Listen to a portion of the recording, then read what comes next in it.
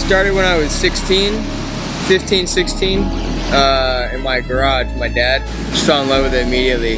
Gave me like a form of identity that I felt like I didn't have before. I fight at 140 pounds. Although my last fight I was at 147, I walk around at about 156, 157.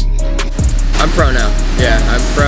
I have seven fights. My record, six wins, technically one loss, but that one loss is from a headbutt. There's a lot of controversy over that. We're trying to get it changed. It should be six and zero oh and one.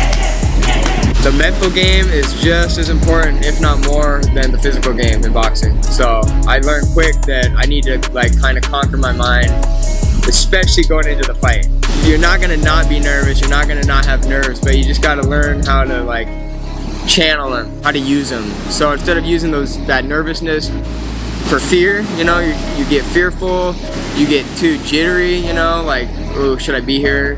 Did I do enough in, camp to prepare for this? What I did in the past, what I did or what I didn't do in the past, that's that's in the past. All that those nerves are for is to focus on what I can do right now in the fight. I've done everything that I could do for this fight, and now whatever happens, happens. I'm gonna do my best, and uh, hopefully walk out of there with a victory.